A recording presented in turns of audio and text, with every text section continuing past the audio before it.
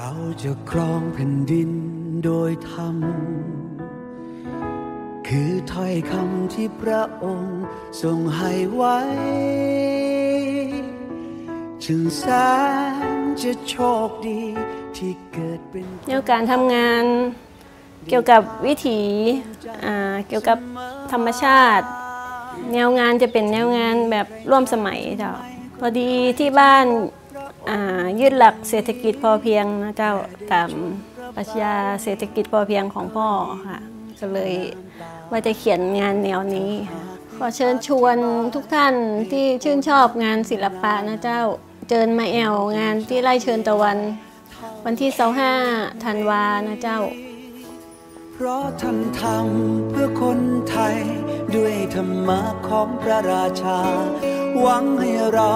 ชาวประชาอยู่ดีกิน